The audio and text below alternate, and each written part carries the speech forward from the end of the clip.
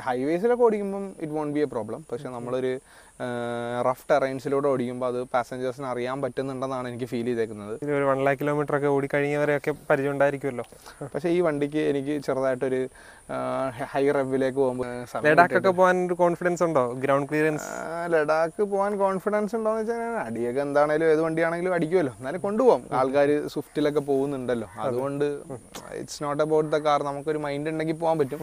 അടിയൊക്കെ തട്ടും അത് വേറെ കാര്യം. പക്ഷേ സ്വിഫ്റ്റ് വെച്ച് കമ്പയർ ചെയ്യുമ്പം this is very nice to drive ആണ്. നല്ലൊരു ഒരു സേഫ്റ്റി ഫീൽ ഉണ്ട്. ആറ് എയർ ബാഗ് ഉണ്ട്. ട്രാക്ഷൻ കൺട്രോൾ എപ്പോഴും മൈലേജ് ചെക്ക് ചെയ്യുകയാണെങ്കിൽ മൈലേജ് എന്ന് പറഞ്ഞു കഴിഞ്ഞാൽ ഒരു സർവീസിന് കയറി കഴിഞ്ഞാൽ രണ്ടായിരത്തി അഞ്ഞൂറ് രൂപ മൂവായിരം രൂപ ആ റേഞ്ചിലേ വന്നിട്ടുള്ളൂ. കുറച്ചും കൂടെ ഡ്രൈവ് ചെയ്യാനും കുറച്ചും കൂടെ പോളോനേക്കാളും പവറും കാര്യങ്ങളൊക്കെ ഫീൽ പലർക്കും അറിയില്ലല്ലോ. നമ്മുടെ Polo is very powerful car എന്നാണ്. നമ്മൾ ഇങ്ങോട്ട് നല്ലൊരു പൊളി പൊളിച്ച് മൂന്നാർക്ക് പോകുമ്പോൾ നമ്മുടെ അലോയ്സ് പൊട്ടിപ്പോയായിരുന്നു. പൊട്ടിപ്പോയിട്ട് ഞാൻ അറിഞ്ഞില്ല ഞാൻ. Thank you.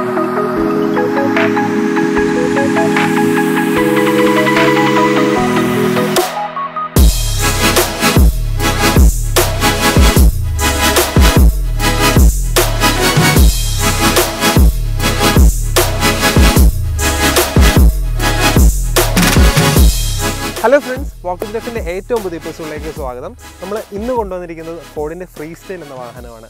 റീസെന്റ്ലി നമ്മുടെ ഇന്ത്യ വിട്ടുപോയ ഫോർഡ് എന്ന ബ്രാൻഡിന്റെ ഫ്രീ സ്റ്റൈൽ എന്ന വാഹനമാണ്. കുറച്ച് പേര് കമന്റ് ചെയ്ത് ചോദിച്ചിട്ടുണ്ടായിരുന്നു ഫ്രീ സ്റ്റൈലിന്റെ യൂസർ എക്സ്പീരിയൻസ് ചെയ്യുമോ എന്നുള്ളത്. ഇത് two thousand eighteen model Ford free സ്റ്റൈലാണ് ഫോർട്ട് ഫ്രീ സ്റ്റൈൽ എന്ന് പറയുമ്പോൾ ഒരു ക്രോസ് ഓവർ വെഹിക്കിളാണ് നിങ്ങൾക്ക് എല്ലാവർക്കും അറിയാമല്ലോ ഓരോ ബ്രാൻഡ്സിനും അതിന്റേതായ ക്രോസ് ഓവർ വെഹിക്കിൾസ് അവർ ഇറക്കിയിട്ടുണ്ട്. ഇപ്പോൾ പോളോടെ നോക്കുകയാണെങ്കിൽ പോളോ ക്രോസ് ഉണ്ട് എറ്റിയോസിന്റെ ക്രോസ് ഉണ്ട്.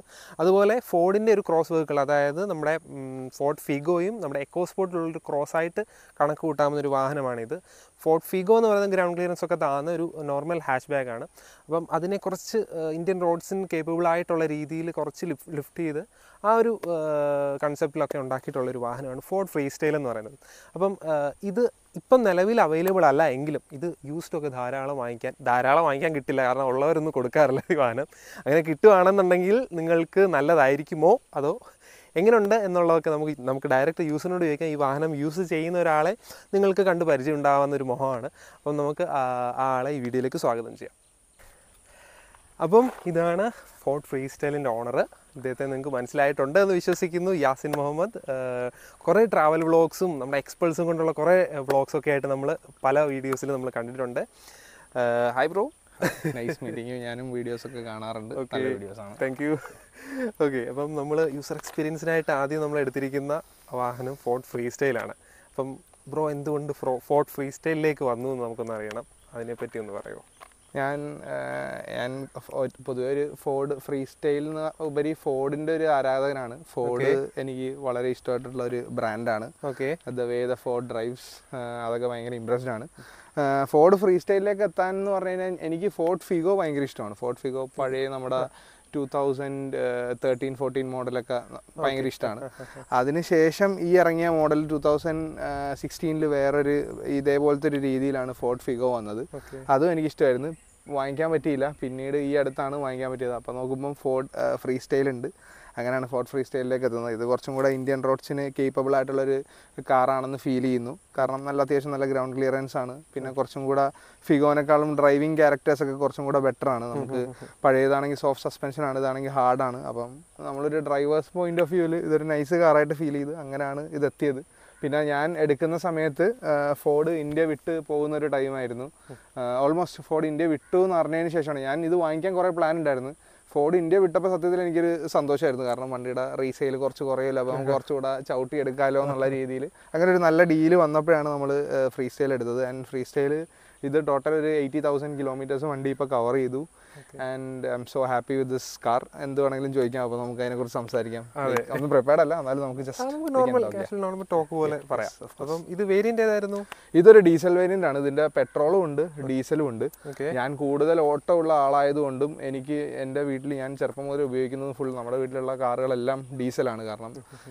ഞാൻ ഒരു പെട്രോൾ ഹെഡ് എന്നതിലുപരി ഡീസൽ ഹെഡ് ആണ്. എനിക്ക് ആ ഒരു ഇനീഷ്യലി ഒരു ലാഗ് വന്നിട്ട് ഒരു പവർ പഞ്ച് വരുന്നത് ഭയങ്കര ഇഷ്ടമായിട്ടുള്ള ഒരു ക്യാരക്ടറാണ് അപ്പം ഇത് ഡീസലാണ് പിന്നെ ഓട്ടം കൂടുതലുണ്ട്. നമ്മളിങ്ങനെ ഇടയ്ക്കിടയ്ക്ക് അങ്ങോട്ടും ഇങ്ങോട്ടും ഒക്കെ കൂടുതൽ തന്നെ എക്സ്പൾസിലായിരിക്കും എല്ലാവരും കണ്ടേക്കുന്നത്. എന്നാലും നമ്മൾ നല്ല രീതിയിൽ ഡ്രൈവ് ചെയ്യുന്നുണ്ട്. അതിന്റെ വീഡിയോസ് കാര്യങ്ങളൊന്നും ഇടാത്തതാണ്. ഹരിയർ ഹാരിയർ ഹാരിയറും ഡീസലാണ് ഡീസലാണ്. ഹാരിയർ ഡീസൽ മാത്രമേ ഉള്ളൂ. ആ അപ്പം ഇത് ഡീസലാണ് എടുത്തത്. ഡീസൽ കാറാണ്. അതിന്റേതായിട്ടുള്ള പവർ ഉണ്ട് അതിന്റേതായിട്ടുള്ള മൈലേജ് ഉണ്ട്. അപ്പം നമുക്ക് എനിക്ക് ഭയങ്കര പ്രാക്ടിക്കലാണ് മറ്റേ ഹാരിയറായിട്ട് നമുക്ക് എപ്പോഴും സിറ്റിയിലേക്കൊക്കെ ഇറങ്ങി ഓടിക്കാനും കാര്യങ്ങളൊക്കെ ബുദ്ധിമുട്ടാണ്. കാരണം അത്. ഇച്ചിരി വലിയ കാറായതുകൊണ്ടും ഇത് നമുക്ക് എല്ലായിടത്തും കൊണ്ടുപോകാം എല്ലാ സ്ഥലത്തും കൊണ്ടുപോകാം. അത്യാവശ്യം ഗ്രൗണ്ട് ക്ലിയറൻസ് ഉള്ളതുകൊണ്ട് ചെറിയ ചെറിയ പാച്ചസ് ഓഫ് കുഴികളും കാര്യങ്ങളും ഒന്നും ഇത് ഈസി ആയിട്ട് ഹാൻഡിൽ ചെയ്യാൻ പറ്റുന്നുണ്ട്. എനിക്കൊരു പ്രാക്ടിക്കൽ കാറായിട്ട് ഫീൽ ചെയ്തു അതുകൊണ്ടാണ് ഇതിലേക്ക് എത്തിയത്. അങ്ങനെയാണ് ഇതിൽ ഇപ്പം വേറെ ഒന്നും നോക്കിയില്ല. നമ്മൾ ഫോർട്ട് ഫ്രീ സ്റ്റൈൽ മാത്രം നോക്കിയാണ്. വേറെ ഓപ്ഷൻസ് ഒന്നും വെക്കാൻ പോയില്ല. ഓപ്ഷൻസ് വെക്കണമെന്ന് എനിക്ക് ആഗ്രഹമുണ്ടായിരുന്നു. പിന്നെ ഒരു വേറൊരു കാർ എനിക്കുണ്ട്.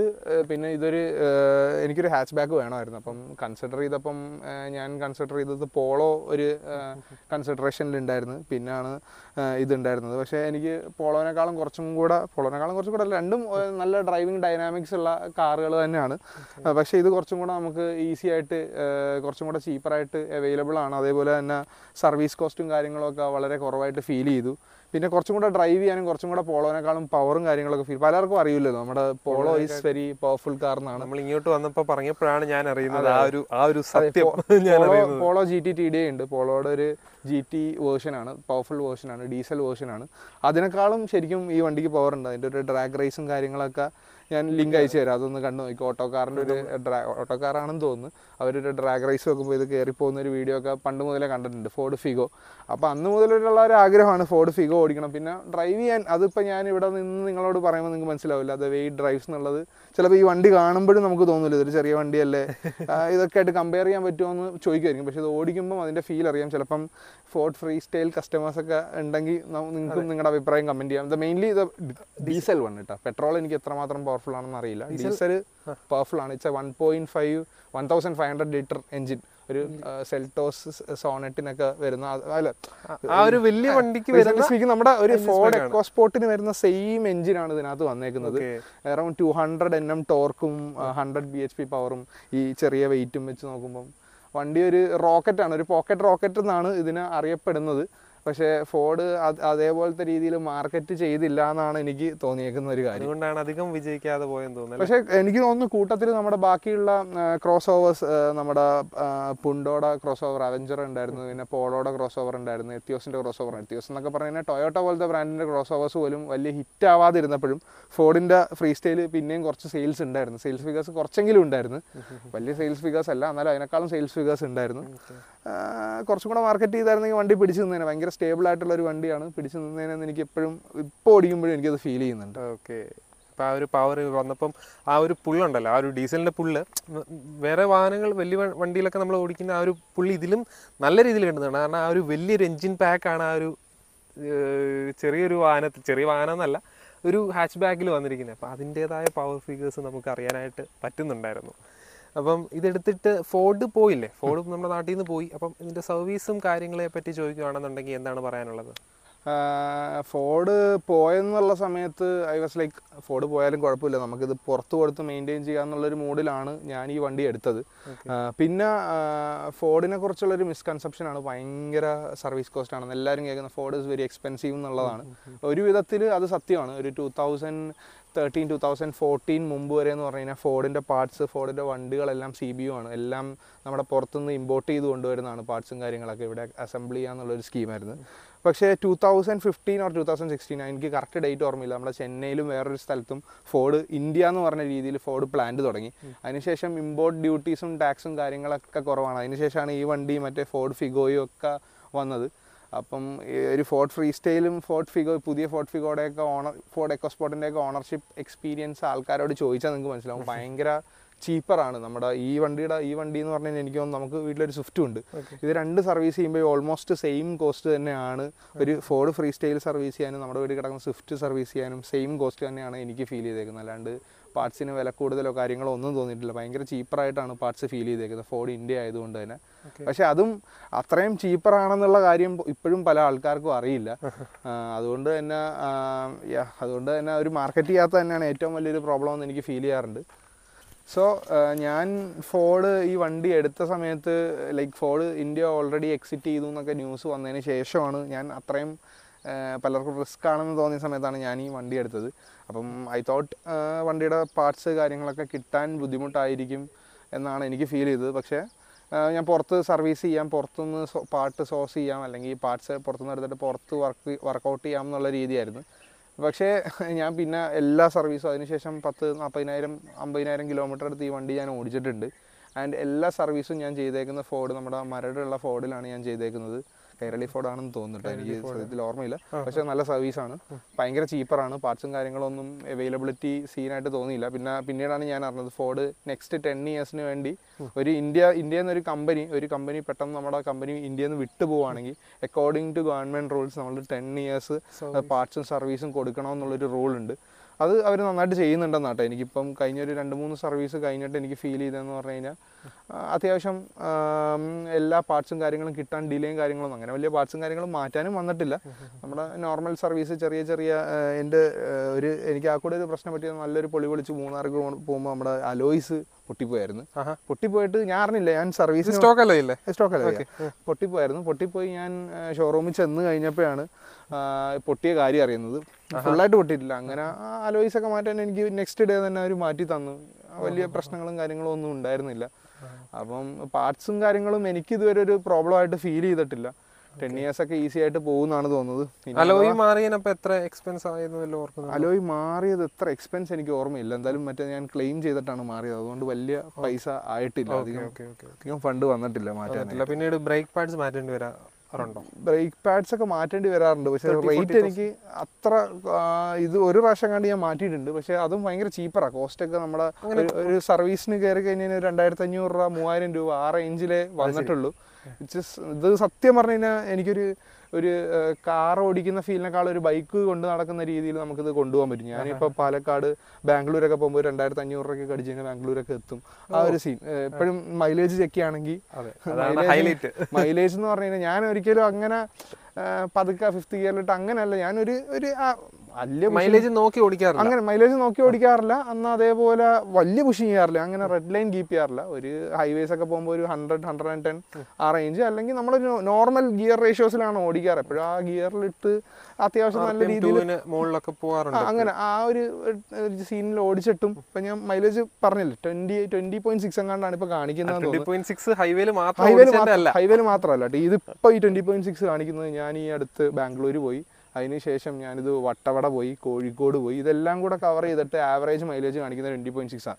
എനിക്ക് തോന്നുന്നത് റീസെറ്റ് ചെയ്തിട്ട് ഞാൻ കോഴിക്കോട് കോഴിക്കോടല്ല നമ്മുടെ ബാംഗ്ലൂർ ഹൈവേ പിടിച്ച സമയത്ത് എനിക്ക് ട്വന്റി ഫൈവ് ആ റേഞ്ചൊക്കെ ആയിരുന്നു മൈലേജ് കാണിച്ചുകൊണ്ടിരുന്നത് അത് എത്രമാത്രം പ്രോപ്പറാണ് ഈ കാണിക്കുന്ന മൈലേജ് എത്രമാത്രം ആക്യുറേറ്റ് ആണെന്ന് അറിയില്ല. പക്ഷേ എനിക്ക് തോന്നി. ഇപ്പം എനിക്ക് ഓർമ്മയുണ്ടെങ്കിൽ ഞാനിപ്പോൾ പറഞ്ഞു ഞാൻ തൗസൻഡ് റുപ്പീസിന് അടിച്ചിട്ടാണ് കഴിഞ്ഞ ദിവസം പാലക്കാട് പോയി തിരിച്ച് ഇവിടെ വന്നത്. എന്നിട്ട് ഇപ്പം നമ്മൾ ഇങ്ങോട്ട് വരുന്നത്. ഓ ആ ഒരു ഇതിന്. Kochi to Palakkad Kochi to Palakkad. നല്ല റോഡാണ് ട്രാഫിക്കും കാര്യങ്ങളൊന്നുമില്ല. രാത്രിയായിരുന്നു. ഒരു ഒരു മിനിമം പുഷ് എയ്റ്റി നയന്റി എന്നുള്ള രീതിയിൽ ക്രൂസ് ചെയ്ത് വന്നിട്ട് ഒരു തൗസൻഡ് റുപ്പീസിന്റെ ഡീസലേ വന്നിട്ടുള്ളൂ എനിക്ക് പോയി തിരിച്ചു വരാൻ വേണ്ടി. അപ്പോൾ ഓൾമോസ്റ്റ് ആക്യുറേറ്റ് ആണ്. ആ അപ്പോൾ ഓൾമോസ്റ്റ് ആക്യുറേറ്റ് ആയിരിക്കും. തൗസൻഡ് റുപ്പീസിന് ഓൾമോസ്റ്റ് ടു സിക്സ്റ്റി കിലോമീറ്റേഴ്സ് അതിന് അതിനേക്കാളും കൂടുതൽ ഓടും എന്തായാലും അത്രയും ഓടുന്നുണ്ട്. അപ്പം അപ്പോൾ അത്യാവശ്യം മൈലേജ് എനിക്ക് ഫീൽ ചെയ്യുന്നുണ്ട്. അതുകൊണ്ട് നമുക്ക് കൊണ്ട് നടക്കാൻ ഭയങ്കര സുഖമാണ്. ഇപ്പം മറ്റേ എന്റെ മറ്റേ കാറൊക്കെ എടുക്കുമ്പം അത് ഹൈവേയിൽ കുറച്ച് മൈലേജ് അത്യാവശ്യം ആ ഒരു കാറ്റഗറിയിൽ ഉണ്ടെങ്കിൽ ഹാരിയറിനോ ഹാരിയറിന് സ്വിഫ്റ്റിന് നല്ല മൈലേജ് ഉണ്ട് കേട്ടോ. സ്വിഫ്റ്റ് മൈലേജ് മോശമൊന്നും പറയാനില്ല. പക്ഷേ സ്വിഫ്റ്റിന്റെ അതേപോലത്തെ മൈലേജ് തന്നെയാണ് എനിക്ക് ഫീൽ ചെയ്തിരിക്കുന്നത്. പക്ഷേ സ്വിഫ്റ്റ് വെച്ച് കമ്പയർ ചെയ്യുമ്പം this is very nice to drive ആണ്. നല്ലൊരു ഒരു സേഫ്റ്റി ഫീൽ ഉണ്ട്. ആറ് എയർ ബാഗ് ഉണ്ട് ട്രാക്ഷൻ കൺട്രോൾ ഉണ്ട്? എ ബി എസ് ഉണ്ട് പിന്നെ നല്ലൊരു മ്യൂസിക് സിസ്റ്റം ഉണ്ട്. പുഷ് സ്റ്റാർട്ട് കാര്യങ്ങളൊക്കെയാണ്. മറ്റേ മിററൊക്കെ മറ്റേ ഓട്ടോ ഫോൾഡ് ആ സെറ്റപ്പ് കാര്യങ്ങളെല്ലാം എല്ലാം ഒരു ഒരു ഫുള്ളി പാക്ഡ് കാറായിട്ടാണ് എനിക്ക് ഫീൽ ചെയ്തേക്കുന്നത്. മാപ്സ് ഉണ്ട്. എല്ലാം അത്യാവശ്യം എല്ലാം ഉണ്ട്. ഇനി എനിക്ക് ഇതിനകത്തൊരു മിസ്സിങ് ഔട്ടായിട്ട് ഫീൽ ചെയ്തത് ക്രൂയിസ് കൺട്രോൾ ഇല്ല. കാരണം എല്ലാ ഫീച്ചേഴ്സും കൊണ്ടുവന്നിട്ട് അത് അത് അതും കൂടെ ഉണ്ടായിരുന്നെങ്കിൽ കുറച്ചും കൂടെ നൈസ് ആയെന്ന് തോന്നി. പിന്നെ ഒരു ഹാൻഡ് റെസ്റ്റ് ഗിയറിന്റെ അവിടെ ഒരെണ്ണം കൊടുക്കണമെന്നുണ്ട്. അതെന്തായാലും നമുക്ക് ആഫ്റ്റർ മാർക്കറ്റ് എന്തെങ്കിലുമൊക്കെ ഞാൻ പ്ലാൻ ചെയ്യുന്നുണ്ട്.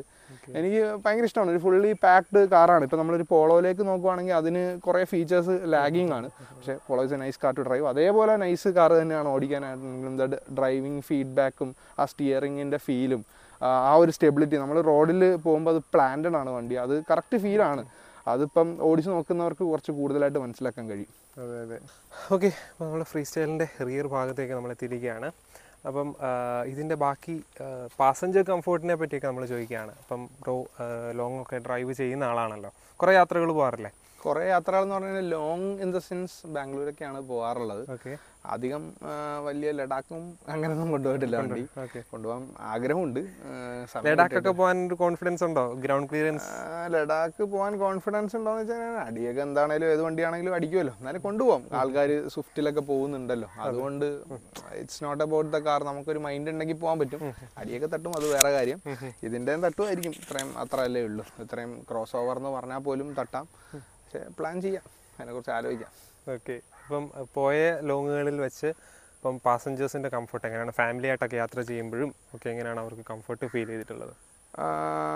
പക്ഷേ ഇതൊരു പാസഞ്ചർ ഓറിയന്റഡ് കാറാണോ എന്ന് ചോദിച്ചു കഴിഞ്ഞാൽ എനിക്ക് തോന്നുന്നു ഈ ഫ്രീ സ്റ്റൈലിനേക്കാളും കുറച്ചും കൂടെ പാസഞ്ചർ ഓറിയന്റഡ് കാറ് ഫിഗോ ആണ്. ഫിഗോയുടെ സസ്പെൻഷൻ കുറച്ചും കൂടെ സോഫ്റ്റ് ആണ്. കുറച്ചും കൂടെ പ്ലഫിയാണ് ആണ്. അതുകൊണ്ട് ആ ഒരു ഫ്ലോ ഉണ്ട്. ഇത് കുറച്ചും കൂടെ ഒരു സ്റ്റിഫ് സസ്പെൻഷനാണ് ഇത് കുറച്ചും കൂടെ ഒരു ഡ്രൈവേഴ്സ് ഓറിയന്റഡ് കാർ ആയതുകൊണ്ട് തന്നെ നമ്മളെ നമ്മുടെ ഓരോ റോഡിന്റെ പാച്ചസും നമുക്ക് ഇതിന്റെ ഉള്ളിൽ ഫീൽ ചെയ്യുന്നുണ്ട് അപ്പം അത് എത്ര ചിലർക്ക് ഹൈവേസിലൊക്കെ ഓടിക്കുമ്പം it won't be a problem പക്ഷെ നമ്മളൊരു റഫ് ടെറൈൻസിലൂടെ ഓടിക്കുമ്പോൾ അത് പാസഞ്ചേഴ്സിന് അറിയാൻ പറ്റുന്നുണ്ടെന്നാണ് എനിക്ക് ഫീൽ ചെയ്തേക്കുന്നത്.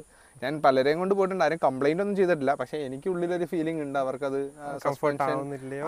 കംഫർട്ട് ആവുന്നില്ലയോ? അത് ഓരോ നമ്മൾ കൂടുതലും ഹൈവേസ് ഇപ്പോൾ ബാംഗ്ലൂരൊക്കെ പോകുമ്പോൾ അങ്ങനെ പ്രശ്നങ്ങളൊന്നുമില്ല. അതെ അതെ. പക്ഷേ നമ്മളൊരു മോശം റോഡിലേക്ക് ഇറങ്ങുമ്പം സസ്പെൻഷൻ സ്റ്റിഫ് ആയതുകൊണ്ട് തന്നെ അത് ഉള്ളിലിരിക്കുന്നവർക്ക് അത്ര കംഫർട്ടബിൾ ആയിട്ട് എനിക്ക് ഫീൽ ചെയ്തിട്ടില്ല. എനിക്കിരിക്കുവാണെങ്കിൽ അത്ര കംഫർട്ടബിൾ ആയിട്ട് ഫീൽ ചെയ്യില്ല. നിങ്ങളൊരു കംഫർട്ടബിൾ പാസഞ്ചർ കാറാണ് നിങ്ങൾ കൂടുതൽ നോക്കുന്നതെങ്കിൽ എനിക്ക് തോന്നുന്നു ഫിഗോയിലേക്ക് പോകുന്നതായിരിക്കും കുറച്ചും കൂടെ ബെറ്റർ ബെറ്റർ ഓക്കെ അതാണ് കറക്റ്റ് ഫീഡ്ബാക്ക് എന്റെ ഫീഡ്ബാക്ക് പറയാൻ. ഇപ്പോൾ പാസഞ്ചർ നോക്കിക്കഴിഞ്ഞാൽ പോളോയും പറയാനൊക്കത്തില്ലല്ലോ. ബാക്കിൽ ലെഗ് സ്പേസ് ഒക്കെ കുറവാണ്. ലെഗ് സ്പേസ് കാര്യങ്ങളൊക്കെ ഇതിന് അത്യാവശ്യം പോളോനേക്കാളും കുറച്ചും കൂടെ പൊടിക്കുണ്ട്. ഉണ്ട് ഇരിക്കാൻ കുറച്ചും കൂടെ ഇതുണ്ട്. ഉള്ളിലത്തെ ഒരു കോമ്പാക്റ്റ് ആണ് സാധനങ്ങൾ പക്ഷേ പോളോയും സ്റ്റിഫ് സസ്പെൻഷൻ ആണ്. പോളോയും അത്രയും പോളോയിലൊക്കെ ഇരിക്കുന്ന അതേ ഒരു ഫീൽ തന്നെ ആയിരിക്കും ഇതിനകത്തും കിട്ടുന്നത്. Okay okay. അപ്പം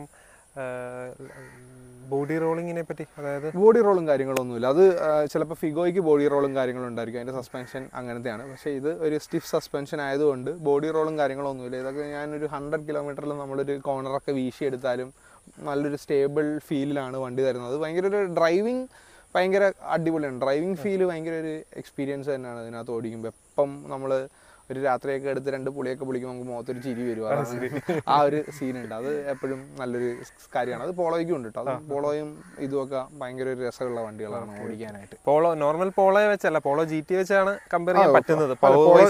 പോളോ- എന്ന് ഞാൻ ഉദ്ദേശിക്കുന്നത് Polo G T T S I അല്ലെങ്കിൽ G T T D I ഇപ്പൊ ഇറങ്ങുന്ന T S I one litre one point two litre പെട്രോളിനെ കുറിച്ചല്ലേ മറ്റേത്. Okay okay okay.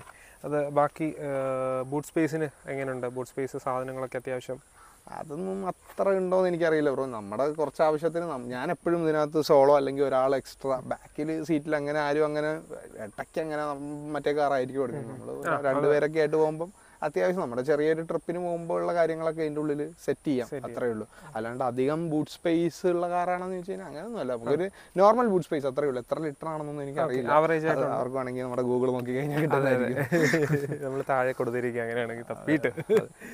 ഓക്കെ അപ്പം അതാണ് ബൂട്ട് സ്പേസിന്റെ കാര്യം പറയാനുള്ളത്. ഓക്കെ ഇനി അടുത്തായിട്ട് നമുക്കറിയേണ്ടത് ഫോർട്ട് ഫ്രീ സ്റ്റൈലിന്റെ നെഗറ്റീവ്സ് ആണ്. വാഹനങ്ങൾക്ക് എന്തൊക്കെയാണ് കുറവുകളുള്ളത്? സത്യത്തിൽ ഈ വണ്ടിയിൽ എനിക്ക് അങ്ങനെ പ്രത്യേകിച്ച് വലിയ കംപ്ലൈൻസ് പറയാനില്ല. എന്നാലും ചെറിയ ചെറിയ നമ്മളിപ്പോൾ ഓടിച്ചതിന്റെ ഇപ്പോൾ ഇത്രയും കിലോമീറ്റേഴ്സ് ഓടിച്ചതിന്റെ ഫീഡ്ബാക്ക് എന്നുള്ള രീതിയിൽ ചെറിയ ചെറിയ മാറ്റങ്ങൾ കൊണ്ടുവന്നു കഴിഞ്ഞാൽ വണ്ടി നല്ലായിരിക്കും എന്ന് എനിക്ക് ഫീൽ ചെയ്യുന്നുണ്ട്. ഫസ്റ്റ് നെഗറ്റീവ് എന്ന് പറഞ്ഞു കഴിഞ്ഞാൽ ഫോർഡ് ഇന്ത്യ വിട്ടുപോയതാണ്. അതെപ്പോഴും ഒരു നെഗറ്റീവ് തന്നെയാണ്. ഒരു വണ്ടി എടുക്കുമ്പം ലൈക്ക് ആൾക്കാരുടെ തോട്ട്സ് ആണല്ലോ. പക്ഷേ ഞാൻ പറഞ്ഞില്ലേ ഈസി ആയിട്ട് നമുക്ക് മെയിന്റെയിൻ ചെയ്യാൻ പറ്റുന്ന ഒരു കാറാണ് ഫോർഡ് ഫ്രീ സ്റ്റൈലും ഫോർഡ് ഫിഗോയും ഫോർഡിന്റെ എക്കോസ്പോർട്ടൊക്കെ ആണെങ്കിലും. പിന്നെ എനിക്ക് ഇതിനകത്ത് തോന്നിയേക്കുന്നതെന്ന് പറഞ്ഞു കഴിഞ്ഞാൽ ഇതിന്റെ എൻ വി എച്ച് ലെവൽ എന്ന് പറയും. നോയിസ് വൈബ്രേഷൻ ഹാർനസ് ഒരു എഞ്ചിൻ എപ്പോഴും ഒരു നോയിസ് ഉണ്ടാവും ഒരു വൈബ്രേഷൻ ഉണ്ടാവും ഒരു ഹാർനസും കാര്യങ്ങളൊക്കെ ഉണ്ടാവും. അതെപ്പോഴും എല്ലാ എഞ്ചിനും ഉണ്ടാവും. പക്ഷെ പല പല ആൾക്കാരുടെ മെക്കാനി പല ബ്രാൻഡിന്റെ മെക്കാനിസം എന്ന് പറയുന്നത് ഇത് മറ്റേ ഹുഡിൽ നിന്ന് ക്യാബിന്റെ ഉള്ളിലേക്ക് ആ സൗണ്ട് വരാൻ പാടില്ല. പക്ഷേ ഈ വണ്ടിക്ക് എനിക്ക് ചെറുതായിട്ടൊരു ഹൈ റെവിലേക്ക് പോകുമ്പോൾ ഒരു വൈബ്രേഷനും അതിന്റെ ഒരു നോയിസും കാര്യങ്ങളൊക്കെ ഉള്ളിൽ ഫീൽ ചെയ്യുന്നത് എനിക്ക് തോന്നുന്നത് കുറച്ചും കൂടെ എൻ വി എച്ച് ലെവൽ നൈസാക്കിയായിരുന്നെങ്കിൽ ഇത് ക്യാബിന്റെ ഉള്ളിലേക്ക് വന്നില്ലായിരുന്നെങ്കിൽ കുറച്ചും കൂടെ ബെറ്റർ ആയതിനെന്ന് എനിക്ക് തോന്നാറുണ്ട്. അതെന്റെ മറ്റേ ഹാരിയറിന് ഇതിനേക്കാളും കൂടുതലാണ്. നല്ല സൗണ്ടും കാര്യങ്ങളും ഉള്ളിൽ വരാറുണ്ട്.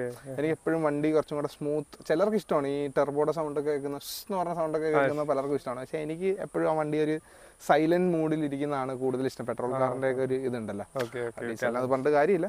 എൻ വി എച്ച് ലെവൽ കുറച്ചും കൂടെ ഒന്ന് ബെറ്റർ ആക്കി കുറച്ച് ക്യാബിൻ കുറച്ചും കൂടെ ഇൻസുലേറ്റ് ചെയ്ത് സെറ്റപ്പ് ആക്കിയായിരുന്നെങ്കിൽ ഉള്ളിൽ കുറച്ച് സൗണ്ട് ഫീൽ കുറഞ്ഞേനെ. അത് ചിലർക്ക് ഇഷ്ടമാണ്. എനിക്ക് പേഴ്സണലി അതാണ് ഇഷ്ടം.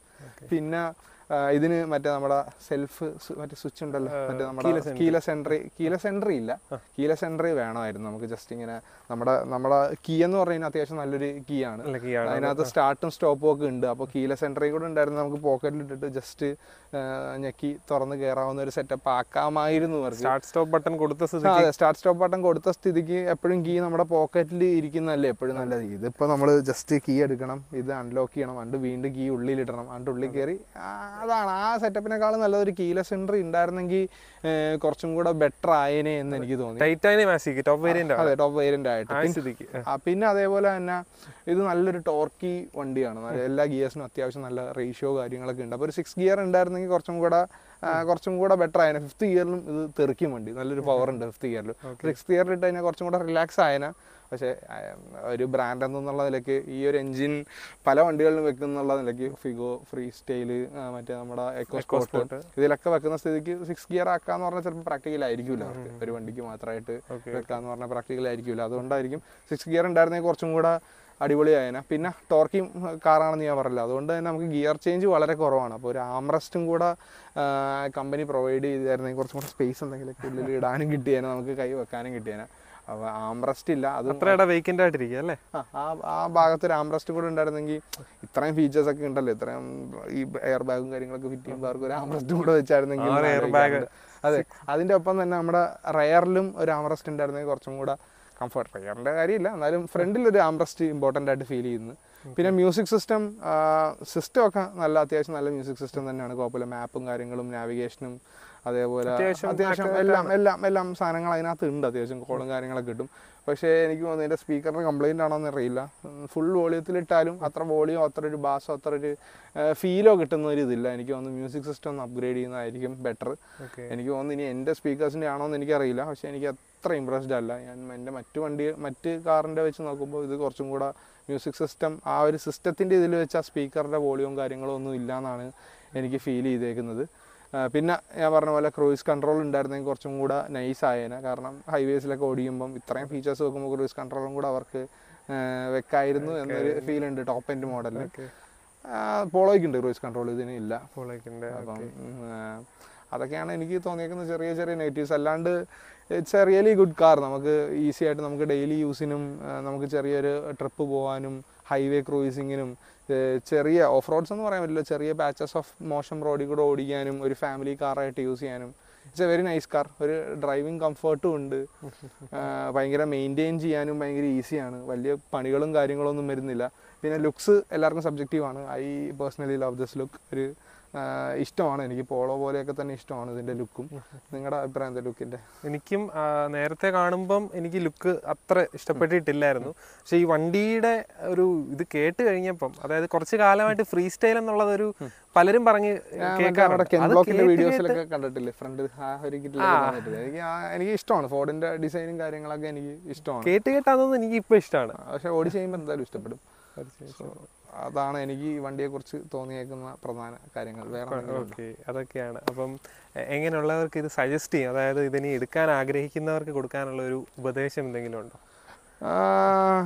എടുക്കാൻ ഉപദേശിക്കുന്നവർക്ക് യൂസ്ഡ് എടുക്കാൻ പറ്റുള്ളൂ. യൂസ്ഡ് എടുക്കാൻ പറ്റുള്ളൂ. യൂസ്ഡ് നല്ല റേറ്റ് കുറച്ചെടുക്കാൻ നോക്കുക. ഫോർഡ് ഇല്ലാത്തതിന്റെ പേരിൽ നിങ്ങൾക്ക് വേണമെങ്കിൽ റേറ്റ് കുറച്ചെടുക്കാൻ പറ്റുമായിരിക്കും. കിട്ടിക്കഴിഞ്ഞാൽ അത്രയും നല്ലതാണ്. പിന്നെ റിസ്ക് എടുക്കുക എന്നൊക്കെ ഒരു തോന്നൽ ഉണ്ടെങ്കിലും വലിയ റിസ്ക് ഒന്നും ഇല്ല സത്യം പറഞ്ഞു കഴിഞ്ഞാൽ ഞാൻ എടുത്ത് ഇത്രയും ഓടിച്ചതിന്റെ ഒരു ഇതിൽ ഞാൻ പറയാണ്. റിസ്ക് ഒന്നും ഫീൽ ചെയ്തിട്ടില്ല സർവീസൊക്കെ ഈസിലി എല്ലാ സർവീസ് സെന്റേഴ്സും അവൈലബിൾ ആണ്. പാർട്സ് കിട്ടാനും പാടില്ല. അങ്ങനെ പണിയും വരുന്നില്ല. Very nice car to drive ആണ്. പിന്നെ നിങ്ങളൊരു ഡ്രൈവിംഗ് എന്തൂസിയാസ്റ്റ് ആണെങ്കിൽ എന്താണെങ്കിലും നിങ്ങൾക്ക് ഇതെടുക്കാം നിങ്ങൾക്കൊരു എനിക്ക് ഒന്ന് ലൈക്ക് എത്ര മാർക്കറ്റ് റേറ്റ് എനിക്ക് എത്ര എന്നറിയില്ല നല്ലൊരു ഫൈവ് ലാക്സ് ഫോർ ലാക്സ് ആ റേഞ്ചിൽ ചിലപ്പോൾ കിട്ടുമായിരിക്കും. ഫിഗോ ഒക്കെ ആണെങ്കിൽ അതിലും കുറച്ച് കിട്ടുമായിരിക്കും. ഡീസൽ വണ്ടി ഇത്രയും മൈലേജ് ഉണ്ട്. കേപ്പബിൾ ആയിട്ടുള്ള ഒരു വണ്ടിയാണ്. ഡ്രൈവ് ചെയ്യാൻ നല്ല രസമാണ്. ഡിസൈനൊക്കെ എനിക്ക് സത്യത്തിൽ ഔട്ട്ഡേറ്റഡ് ആയിട്ടൊന്നും ഫീൽ ചെയ്യില്ല എന്റെ അലോയ്സ് ഒക്കെ തന്നെ കണ്ടില്ല. നല്ല ഭംഗിയുള്ള-. അലോയ്സും കാര്യങ്ങളൊക്കെയാണ്. ഫീച്ചേഴ്സ് ഫീച്ചർ ലോഡഡ് വണ്ടിയാണ്. അപ്പം it's all depends on you നിങ്ങൾക്ക് ഇഷ്ടമുണ്ടെങ്കിൽ നിങ്ങൾക്ക് എടുക്കാം. പക്ഷേ എടുത്താൽ മോ ഒരിക്കലും നിങ്ങൾ കംപ്ലൈന്റ് ചെയ്യില്ല എടുത്താൽ നിങ്ങൾക്ക് ഒരിക്കലും കൊടുക്കാൻ തോന്നുന്നില്ല ഞാനിത് എന്തായാലും കൊടുക്കാൻ ഒരു ഉദ്ദേശവും ഇല്ല. സോ അതാണ് എനിക്ക് ഫീൽ ചെയ്തേക്കുന്നത്. ഇനി ഒരു വൺ ലാക്ക് കിലോമീറ്റർ ഒക്കെ ഓടിക്കഴിഞ്ഞവരെയൊക്കെ പരിചയം ഉണ്ടായിരിക്കുമല്ലോ. വൺ ലാക്ക് കിലോമീറ്റർ ഓടി കഴിഞ്ഞവർ എനിക്ക് പരിചയമുണ്ടോ എന്ന് ചോദിച്ചു കഴിഞ്ഞാൽ ഈ ഫ്രീ സ്റ്റൈലിൽ എനിക്ക് പരിചയമില്ല. പക്ഷെ എക്കോ സ്പോട്ടിൽ ടു ലാക്സ് ഒക്കെ അടിക്കുന്നവരെയൊക്കെ ഞാൻ കണ്ടിട്ടുണ്ട്. അങ്ങനെ സീൻ ഉണ്ടാവാൻ ചാൻസ് ഇല്ല എന്നാണ് തോന്നുന്നത് ഇപ്പൊ എയ്റ്റി തൗസൻഡ് ആയി എഞ്ചിൻ സൈഡൊന്നും അങ്ങനെ പ്രശ്നങ്ങളും കാര്യങ്ങളൊന്നും ഫീൽ ചെയ്തില്ല. ഓൾമോസ്റ്റ് ആ ഓൾമോസ്റ്റ് ട്വന്റി തൗസൻഡ് കിലോമീറ്റേഴ്സും കൂടെ ആയി കഴിഞ്ഞാൽ വൺ ലാക്ക് ആവും. അങ്ങനെ ഫീലൊന്നും ചെയ്തിട്ടില്ല. അറിയില്ല എത്രമാത്രം എഞ്ചിൻ ലൈഫിന്റെ കാര്യം എനിക്ക് അറിയില്ല പക്ഷേ ഞാൻ രണ്ടര ലക്ഷം ഓടിയ എക്കോ സ്പോർട്ടിന്റെ സർവീസ് കോസ്റ്റും ആ പുള്ളിക്ക് വേറെ പ്രശ്നമില്ലാത്തൊക്കെ ഞാൻ മറ്റേ ഫോറത്തിലൊക്കെ വായിച്ചിട്ടുണ്ട്. ഇതിന്റെ അങ്ങനെ എനിക്കറിയില്ല. സെയിം എഞ്ചിനാണല്ലോ അപ്പം സെയിം എഞ്ചിനാണ് മറ്റേനേക്കാളും എഫേർട്ടും കുറവാണ്. വെയിറ്റ് വെയിറ്റും കുറവായതുകൊണ്ട്. സോ ഇത് കുറച്ചും കൂടെ അതിനേക്കാളും റിലയബിൾ ആയിരിക്കും. കാരണം ആ ഒരു ഇതിലല്ലല്ലോ ഓടുന്നത് ക്യാബിനിലല്ലല്ലോ ഓടുന്നത്. സോ അതൊക്കെ തന്നെയാണ് എനിക്ക് ഫീൽ ചെയ്തേക്കുന്നത്. ഓക്കെ അപ്പം ഇതൊക്കെയാണ് നമുക്ക് ഫോർട്ട് ഫ്രീ സ്റ്റൈലിനെ പറ്റി ടൈറ്റാനിയം ഏറ്റവും ടോപ്പ് വേരിയന്റ് ആയിട്ടുള്ള ടൈറ്റാനിയത്തെ പറ്റി നമുക്ക് പറയാനുള്ളത്. അപ്പം thank you so much bro thank you ഇത്രയും എക്സ്പീരിയൻസ് നമുക്ക് ഷെയർ ചെയ്തു. കുറേ എല്ലാ കാര്യങ്ങളും നിങ്ങൾക്ക് ഇനിയും ഡൗട്ട്സ് ഉണ്ടാകാനായിട്ട് വഴിയില്ല ഈ വീഡിയോയിൽ ഞാൻ സ്ഥിരം പറയുന്ന പോലെ പറയുന്നില്ല. കാരണം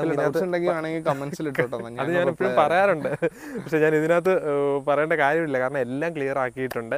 ബ്രോയുടെ ചാനലിന്റെ ലിങ്ക് ഞാൻ താഴെ കൊടുത്തിട്ടുണ്ട്. നിങ്ങളും കയറി ചെക്ക് ചെയ്യുക. കണ്ടിട്ടില്ലാത്തവർ കാണുക തീർച്ചയായിട്ടും. കാരണം ഒരു ട്രാവൽ വ്ളോഗ്സ് ഇഷ്ടപ്പെടുന്നവർക്ക് വളരെ നല്ലതായിട്ട് ഇഷ്ടപ്പെടുന്ന ചാനൽ വീഡിയോസ് ആണ്. ഞാൻ കുറേ സിനിമാറ്റിക് ഷോർട്സും കാര്യങ്ങളെല്ലാം ആഡ് ചെയ്തിട്ട് കുറേ ഡീറ്റെയിൽസും ഇൻക്ലൂഡ് ചെയ്തിട്ടാണ്. അപ്പം നിങ്ങൾ തീർച്ചയായിട്ടും ചെക്ക് ചെയ്യുക താഴെ കൊടുത്തിട്ടുണ്ട്. ഓക്കെ അപ്പം നമ്മുടെ ഈ വീഡിയോ എല്ലാവർക്കും ഇഷ്ടപ്പെട്ടു എന്ന് വിചാരിക്കുന്നു. നമ്മൾ ബ്രോഡ് മറ്റൊരു വാഹനം കൂടി നമ്മൾ യൂസർ എക്സ്പീരിയൻസ് ചെയ്യുന്നുണ്ട്. അപ്പം ആ വീഡിയോ എല്ലാവരും ചെക്ക് ചെയ്യുക. നിങ്ങൾ നിങ്ങൾക്ക് ഈ ഒരു വീഡിയോയുടെ ഇത് വെച്ചിട്ട് നിങ്ങൾക്ക് മനസ്സിലാക്കണം എന്തുമാത്രം ഡീറ്റെയിൽസ് അടങ്ങിയിട്ടുണ്ടെന്ന്. അപ്പം നിങ്ങൾ അതൊന്ന് ചെക്ക് ചെയ്യുക. അപ്പോൾ നമ്മൾ പുതിയൊരു വീഡിയോ ആയിട്ട് വീണ്ടും വരുന്നതായിരിക്കും. അതുവരേക്കും ഗുഡ് ബൈ